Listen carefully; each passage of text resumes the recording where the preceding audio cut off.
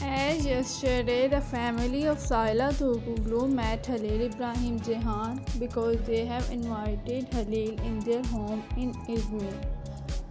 The family was very happy to see Halil Ibrahim because Halil accepted their invitation despite of having tough shooting schedules.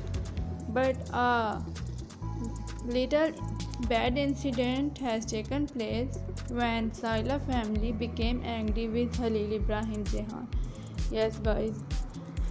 They were angry with Halil because Halil was very late and he was busy in the shooting of Emanet series due to which he was unable to come on time. And that made them a little bit angry. And Saila family was a little bit angry with Halil Ibrahim Ceyhan at that moment because Halil was very late.